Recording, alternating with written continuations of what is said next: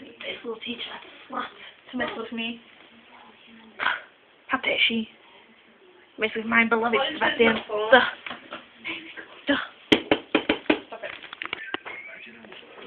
Oh, you know what just happened? You know that Sebastian I was been dating? Well, it turns out he had a he had another wife. And he's a pimp. Well, I know I still listen to my mother. I know. Well, I thought I would be the past, but obviously not. Sarah. Sarah, darling. I'm sorry about this morning's incident. I thought I'd Wait, bring you one wait, of my wait, wait, finest wait, champagnes. wait, I'll, I'll phone you back in a minute. I got a visitor. I'm sorry about my the incident earlier. Would you like a glass of my finest wine? I'm really sorry I'm, about I'm so sorry. I didn't know he was got another girlfriend.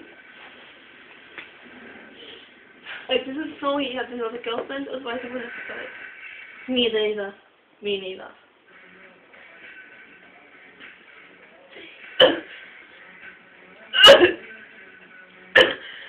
what is this? what is this? It's lemongrass wine. is this?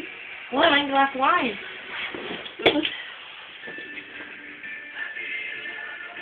Ha! I'm going to eat you now and serve you to Sebastian in a romantic dinner. Your stupid bullshit blood. Sebastian! Sebastian! What is up? Oh, she's dead. I don't care anymore. All I care is you. Really? Yes. Really? Yes. Oh, really? Yes.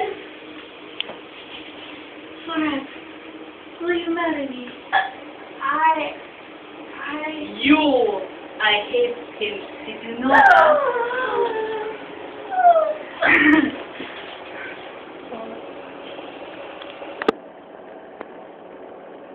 This is now mine.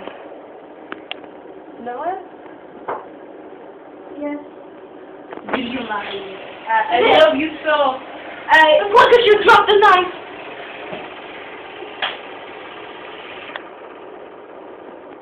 with you.